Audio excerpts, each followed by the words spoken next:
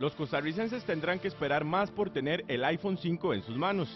Apple Costa Rica asegura que la locura a nivel mundial por tener uno de estos dejó al gigante de la manzana sin aparatos, por lo que el primer país de América después de Estados Unidos será México.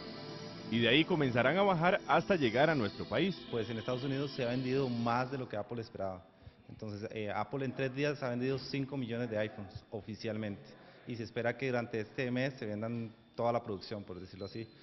Esto ha retrasado evidentemente la distribución a los demás países, que Apple lo ha tratado de hacer escalonadamente.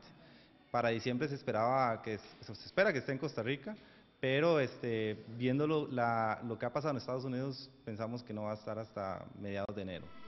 Este celular podrá adquirirse en el país en planes de dos años y su precio en las diferentes agencias telefónicas irá desde los 200 dólares hasta los 700 dólares. Eh, generalmente, como es un teléfono tan interesante, con tantas características y totalmente nuevo, eh, esperaría que los, eh, las telefónicas saquen su publicidad y saquen sus, su evento como tal, eh, donde sí van a hacer ofertas, van a hacer este, una serie de cosas.